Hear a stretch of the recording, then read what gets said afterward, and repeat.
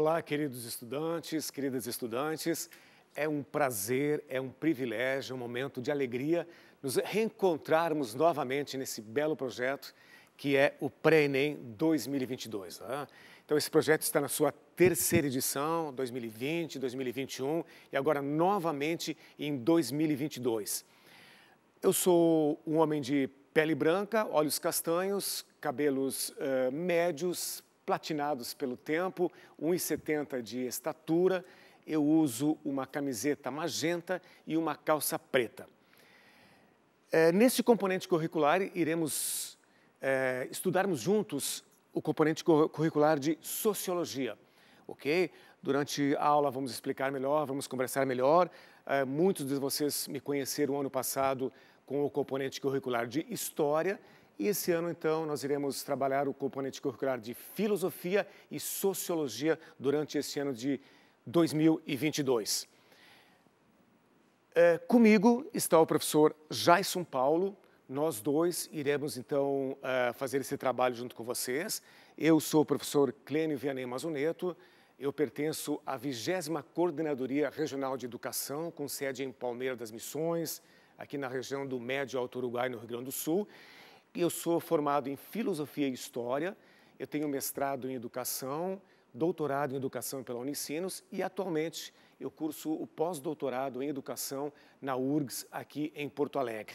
O professor Jaison, que é o curador, o professor Jaison é formado em Filosofia, Teologia, Sociologia, e eu queria explicar um pouquinho sobre uh, o papel do curador.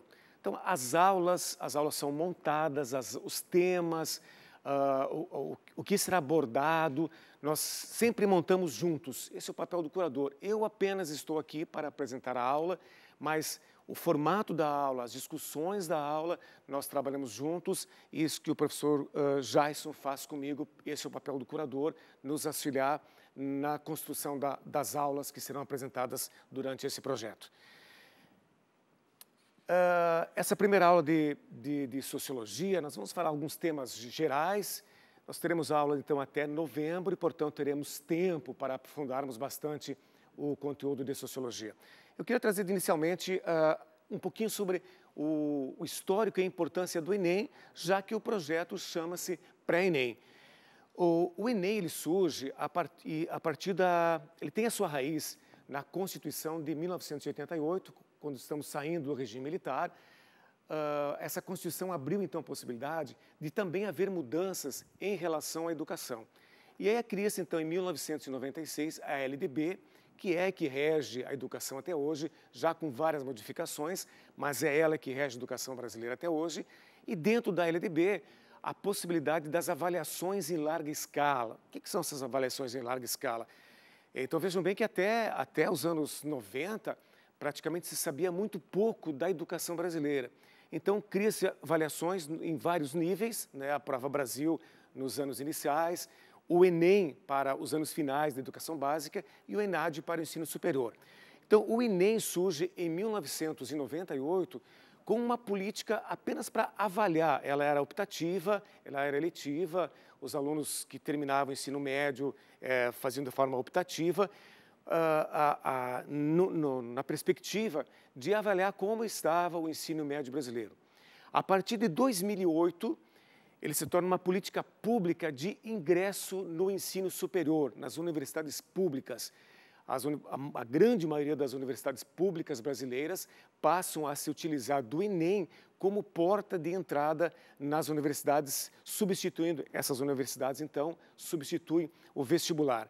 Além da possibilidade de ingresso no ensino superior, o Enem também vai trazer outras possibilidades na, na educação particular, no ensino superior da, das universidades privadas, como ProUni, FIES, intercâmbios.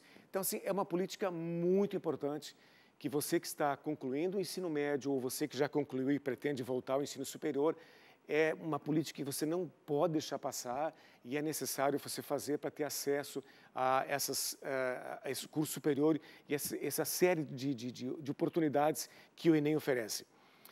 O pré-ENEM é uma, uma ferramenta, é um facilitador que o Estado do Rio Grande do Sul, através da Secretaria de Educação de Estado, está oferecendo para você, aluno concluinte do ensino médio ou você que quer ingressar no ensino superior. Uh, nós não estamos aqui, né, pessoal, para competir com os professores de vocês de forma alguma. Vocês têm ótimos professores. Os professores da rede estadual são ótimos professores, ótimos pesquisadores, dão as melhores aulas. Nós estamos aqui apenas para colocar talvez uma visão diferente, uma outra visão dos componentes curriculares que iremos trabalhar. Então, portanto, uh, aproveite, se utilizem, é uma ferramenta gratuita que a Secretaria de Educação está te, oferecendo. Né?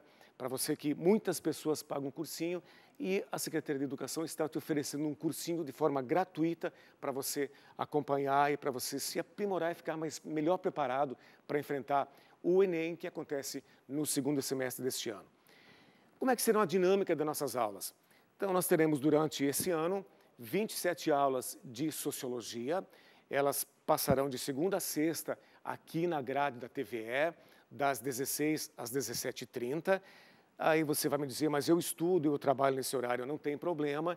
Essas aulas ficarão gravadas na TV Seduc e também no YouTube. Então você pode, no seu horário, no seu tempo, ir lá e assistir essas aulas, parar, anotar, enfim, elas estarão lá para você que não puder assistir é, no momento que elas estarão passando na TV, elas ficam arquivadas e você poderá assistir no momento que você puder assisti-las. Mas assista.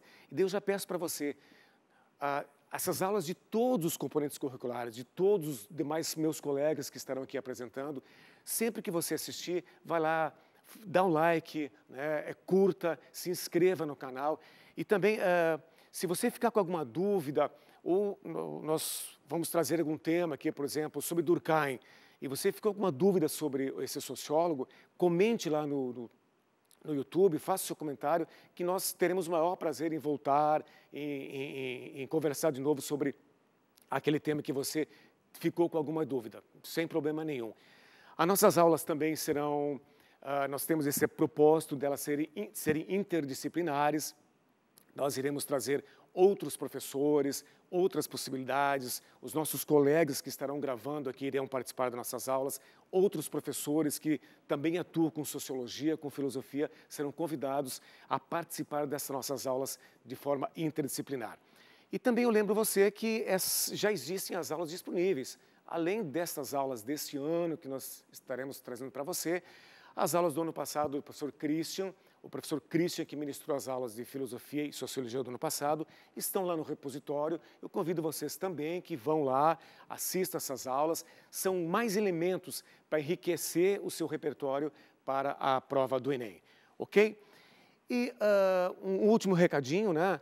Uh, a importância de, do aprendizado, do Enem, do pré-Enem, isso vai além da nossa condição econômica. Né? Nós precisamos estudar, para ter uma condição econômica melhor também, mas a questão econômica é um fator de nossas vidas. Nós precisamos também estudar para sermos seres melhores, seres humanos melhores, que nós possamos ser seres humanos mais holísticos, né, mais totalizantes, que possamos ter um cuidado com o meio ambiente, que possamos ter empatia. Então, a educação, o ensino superior, ele é importante para a nossa profissão, nossa questão uh, econômica, mas ele é importante também, é, também é importante para a nossa vida como um todo. Então, vamos lá, uh, esse é o caminho. Uh, eu também lembro vocês, por favor, foquem principalmente quem está finalizando o ensino médio, uh, dedique seu tempo, se organize, tenha um tempo diário para estudo, isso é obrigatório. Né? Organize o seu tempo, a sua planilha, faça uma lista de importância e na primeira importância está estudar e ser aprovado no Enem com uma boa nota, que aí através do SISU, através do ProUni, você terá várias possibilidades no ensino superior, ok? Então, combinado? É, eu tenho certeza que todos nós vamos ser, tirar uma boa nota no Enem. Então, partiu passar 2022. Olha só, então, é, nossa, esse nosso componente curricular de sociologia, eu trago agora alguns elementos para nós começarmos a discutirmos nas próximas aulas. Uh, muitas vezes a gente fica confundindo o sociologia e filosofia, elas são, uh, são componentes curriculares próximos, elas fazem parte das ciências humanas, enquanto a filosofia se ocupa mais com o conhecimento, as formas do conhecimento, a sociologia vai se ocupar e se preocupar com o estudo da sociedade e os fenômenos que ocorrem na sociedade. Portanto, a sociologia tem esse olhar no coletivo, nesses fenômenos e como a sociedade ela se organiza, como ela reage, principalmente em momentos de crise. Né? Então, nós somos, os, nós seres humanos, estamos inseridos nessa sociedade, como nós reagimos, como nós comportamos, como nós nos organizamos dentro da sociedade, os nossos comportamentos sociais como eles são. Então esse é o nosso tema, o nosso foco, a sociologia, estudar os fatos sociais que ocorrem em nossa sociedade. Né? Como a gente vive, né? como, nos, como nós nos relacionamos, como nós nos relacionamos com os nossos colegas de trabalho, como nós nos relacionamos com nossos vizinhos, como nós nos relacionamos, o, ou a relação de um Estado para outro Estado, de um país para outro país. Então, são aspectos, são temas que a sociologia se preocupa, esse mundo das relações sociais. Né? Uh, mas como que a sociologia estuda essas relações? O que, que ela, né, enfim, como é que ela faz eh, o estudo dessas relações? É de acordo como nós fazemos as nossas atitudes, como nós reagimos, como nós nos comportamos. Então, a sociologia, a partir desses nossos comportamentos, partir desses fatos sociais é que a sociologia se debruça e faz a sua análise, faz a, a sua crítica, se necessário. Ah, só retornando aqui ao slide onde nós estávamos, já que o, o mouse aqui correu, ah, nós estávamos aqui, né, nesse aqui, olha só. Então ocorre, o que é esse processo de socialização? É, são esses valores que são repassados para nós. Nós não nascemos sabendo nossa língua, nossa religião, os costumes. Nós somos jogados ao mundo e a, a sociedade vai nos repassando esses valores. Nós vamos aprendendo a falar, desde as palavras mais simples até as mais complexas, e junto com o modo de, de, de, nos vestirmos, o modo de falarmos, o modo de nos comportarmos, são carregados de valores.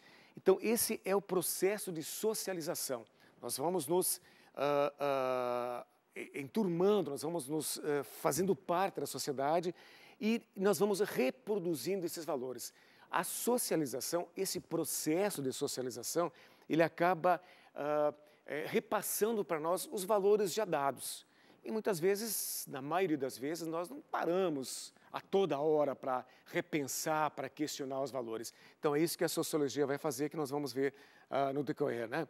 Então, olha, a, o processo de socialização que nós precisamos, porque afinal de contas nós precisamos nos inserir na sociedade. Então, esse processo de socialização é um aprendizado dos valores sociais. É, esse aprendizado, nós vamos repassando, as várias instituições da sociedade vão repassando esses valores que já estão aí instituídos, que estão organizados na sociedade. Como a gente pensa, o que a gente pensa, como agimos, tudo isso é, são valores que a sociedade já tem eles pré-estabelecidos e nós muitas vezes, a maioria das vezes, agimos seguindo esses valores. Por exemplo, uh, por que, que nós vamos num casamento de terno e gravata e não vamos na praia de terno e gravata? A não ser que o casamento seja na praia, né? Por que, que nós usamos certos comportamentos? E, e, nós a, eh, eh, agimos, a, própria avaliação da nossa ação também já é baseada nesses valores que são socializados, que são passados por nós. E muitas vezes a quebra desses valores é complicado, assim, não é tão fácil quebrar esses valores instituídos pela sociedade. Né?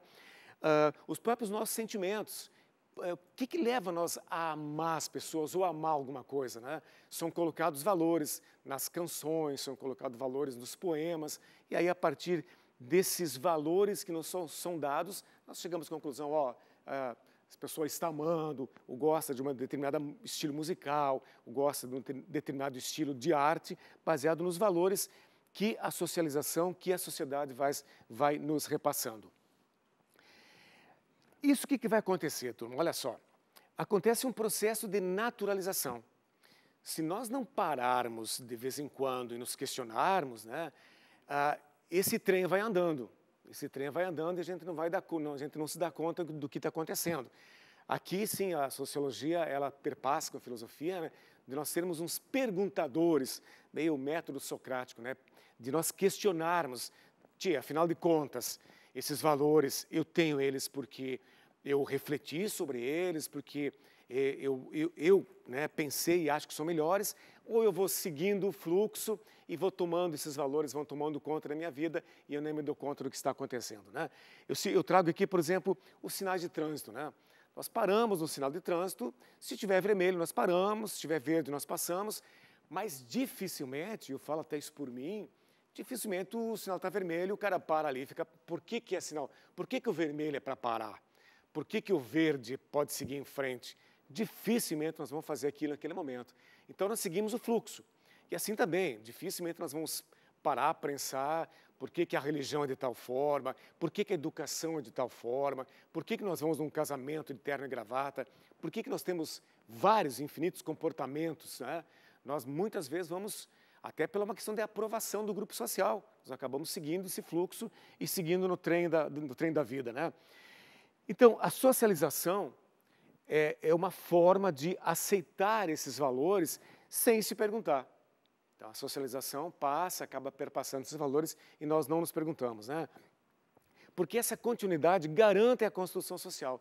E aí a gente vai ver, por exemplo, a, é sempre que há um protesto, né, há uma reação institucional do Estado, que eu falo Estado como um todo, né, porque vai quebrar essa ordem social que essa socialização, esses valores dito como corretos, a sociedade nos passou. Tá?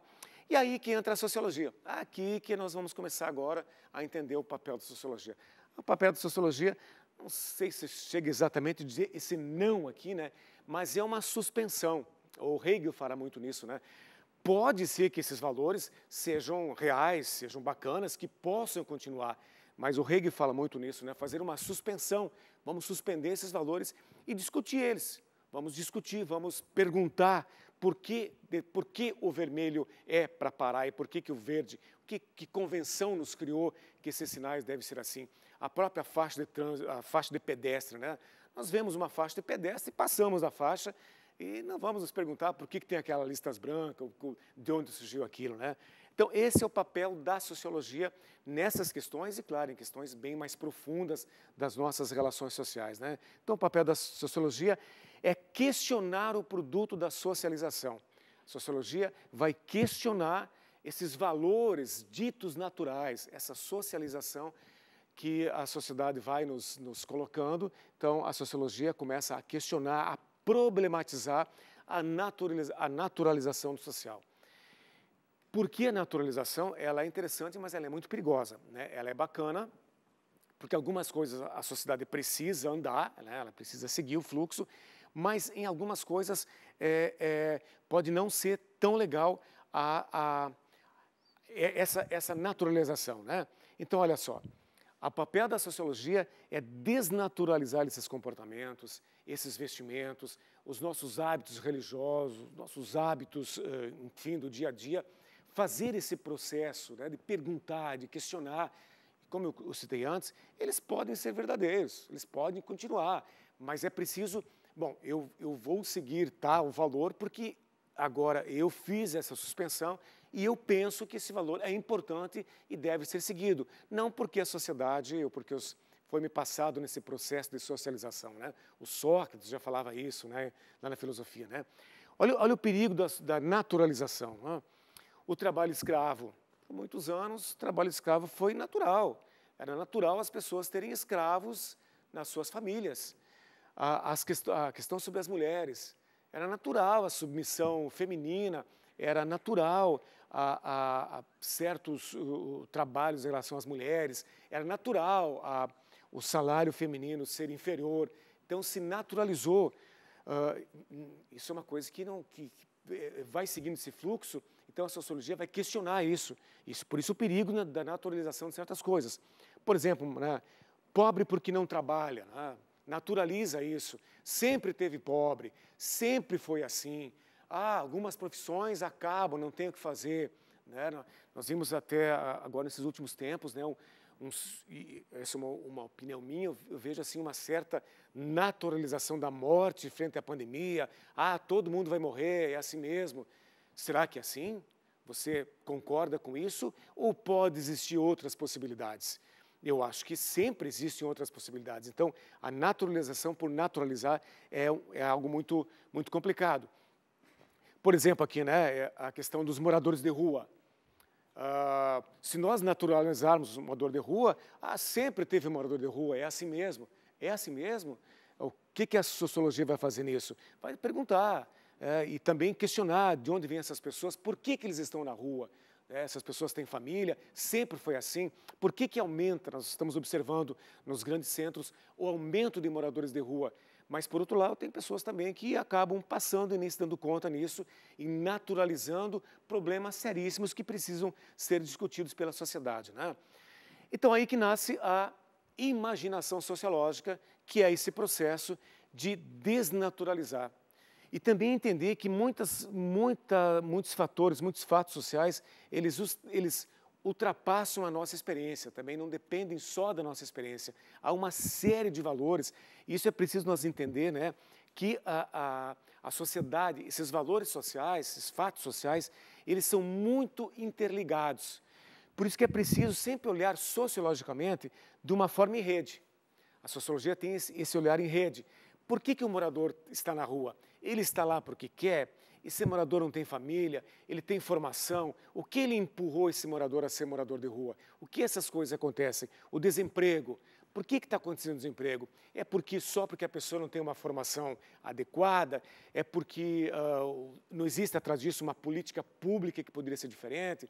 Qual é a ação dos governos? Por que, que em determinados momentos existem mais pessoas no ensino superior, em determinados momentos menos? Por que, que esses fatores vão acontecendo? Mas isso tem que ser respondido em rede. Em, em, é, é, é, um, é uma complexidade, não é apenas é, com, com respostas simples. Uma resposta assim, ah, sempre teve morador de rua. Isso é senso comum. Isso não responde, isso não contempla um problema social que está presente. Né? Eu trago aqui, nós temos visto assim, ultimamente a questão das, das drogas, né? o tráfico de drogas na, nas, nas, nas, mídias, né? nas redes de comunicação. É, tem se falado muito a questão do tráfico de drogas. Mas por que está acontecendo isso? Por que as guerras de facções? Por que tem levado as pessoas à droga? O que, que leva, mesmo as pessoas sabendo desse risco, o que leva elas a se envolverem com o tráfico de drogas? Então, esses são, essa é a, é a desnaturalização que a sociologia é, traz para nós. Nós questionar, nós nos perguntar e sempre levando em conta em rede. Nós, as respostas são muito mais complexas do que nós imaginamos. Não é com uma simples resposta, uh, ah, é, desemprego sempre existiu. É, sociologicamente, não podemos aceitar esse tipo de não podemos aceitar esse tipo de, de resposta, ok? Uh, só voltando aqui à nossa, à nossa aula. Uh, então, olha só, né? as coisas não acontecem por si só, elas são interligadas. Né? Então, o olhar sociológico ele deve estar interligado com, outra, com, outros, com outras interdisciplinas, por isso nós comentamos antes esse olhar interdisciplinar, esse olhar intersubjetivo com a economia, com a filosofia, com a história. E a sociologia, ela precisa agir de olhar transformador. Né? É, essa, é, essa crítica, essa desnaturalização da sociedade, ela precisa ser transformadora. Algumas correntes sociológicas até questionam ah, se eu colocar aquela teoria na prática, ela não vai ser exatamente como eu pensava que fosse, portanto, não deve ser colocada na prática. Mas essa eu, eu coloco novamente uma, uma, um pensamento meu, um pensar meu, que a sociologia, a filosofia, os componentes curriculares, nós, como seres sociais, devemos desnaturalizar e devemos agir. E a praxis está aqui para isso, né? Nós fazermos ação e voltarmos para a teoria, fazer esse movimento que se a prática não está tão correta como nós pensávamos na teoria, voltamos para a teoria, reestudamos e voltamos para a prática. Mas o olhar sociológico, ele precisa ser transformador, ele precisa fazer com que a sociedade seja melhor, que seja, é, te, contemple todas essas questões humanas do ser humano. Quando é que surge a sociologia? A sociologia surge a partir do século XIX, nós vamos ver que ela, ela surge para resolver alguns problemas bem específicos, que é a partir da Revolução Industrial e da Revolução Francesa. Aí vocês vão me falar, não, mas os gregos já falavam em sociedade. Falavam, mas cada momento da sociedade ele tem o seu paradigma. E se nós pegarmos os problemas sociológicos hoje, como a sociologia foi é, estruturada a partir do século XIX, ela dificilmente resolveria aqueles problemas dos gregos. Né? Os gregos tinham lá polis, eles falavam na cidade, o Aristóteles vai falar muito nisso, sempre voltado ao social. Depois também, ah, ah, então, na polis eles tinham alguns problemas. Depois Alexandre o Magno vai, vai falar sobre a, a, o cosmopolismo, né? a grande polis. Na sequência vem, o, vem, vem Roma e assim por diante, né? mas a sociologia vai se ocupar mesmo dos problemas a partir da Revolução Industrial e a partir da Revolução Francesa, que vai trazer esses problemas sociológicos. Olha só, gurizada, então, a sociologia como ciência, ela vai surgir no século XIX. Os gregos, Aristóteles, Platão já falaram alguma coisa sobre eh, a sociedade lá na Grécia, mas olha, toda vez que a ordem social muda, o corpo teórico dessa ordem perde sentido e surge outro. Então, aquela abordagem sociológica lá dos gregos não serve para essa realidade que é agora a partir da Revolução Industrial e da Revolução Francesa, que é um novo paradigma. Né? Então, com a Revolução Industrial surge uma sociedade burguesa, urbana, racionalista, laica, bem diferente da sociedade grega lá que nos referimos antes. E a Revolução Francesa ela vem completar os ideais da Revolução Industrial, que vai dar poder político a esses burgueses que até então é, apenas os nobres tinham esse direito, apenas os nobres desfrutavam desses poderes, e agora os burgueses também começam a desfrutar de poder político e econômico nessa nova ordem social que se instaura. Então, olha só, né? essas relações são novas, surge uma nova sociedade que precisa de novas explicações. Então, explicações filosóficas, teológicas, já não cabem mais nessa sociedade industrial racionalista que surge a partir da Revolução Industrial e também da Revolução Francesa. E a sociologia vai explicar, então, a sociedade de uma forma científica. Então, a sociologia vai se utilizar da ciência para explicar a sociedade. Porque a partir da Revolução Industrial, a ciência ganha corpo, a ciência ganha muito respeito. Então, a sociologia vai tentar explicar a sociedade como uma ciência, que é o que nós veremos a partir de agora nas próximas aulas de sociologia. Eu trago aqui algumas questões do Enem para nós irmos refletindo. Uh, olha só, Muitos países se caracterizam por terem populações multiétnicas, com frequência evoluíram deste modo ao longo dos séculos. Outras sociedades se tornaram multiétnicas mais rapidamente, como resultado de políticas incentivando a migração ou por conta de legados coloniais e imperiais. Do ponto de vista do funcionamento das democracias contemporâneas, o modelo de sociedade descrito demanda simultaneamente universalização de direitos e respeito à diversidade. Entra naquele aspecto que nós falamos de é, desconfiar, de sair do senso comum, né, do multi, do pluri, que a sociologia dá muito respeito a isso. Outra questão, sobre as relações entre a Revolução Industrial e o surgimento da sociologia como ciência, alternativa correta, a consolidação do modelo econômico baseado na indústria conduziu a uma grande concentração da população no ambiente urbano, o qual acabou se constituindo um laboratório para o trabalho de intelectuais interessados no estudo dos problemas que essa nova realidade social gerava. Portanto, é, se encaixa na, na proposta de antes de que aquela, aquela abordagem sociológica dos gregos não se encaixa nessa nova abordagem sociológica, nesses problemas ou nessas soluções geradas eh, nessa nova perspectiva, nesse novo paradigma gerado pela Revolução Industrial e também pela Revolução Francesa. Uh, e por aqui vamos então encerrando a aula de hoje. Eu agradeço a vocês terem acompanhado essa aula. Convido vocês para nos acompanhar nas próximas aulas. Convido você também para assistirem às aulas de todos os demais colegas. Fica um grande abraço, continue pesquisando, continue estudando e até o próximo encontro.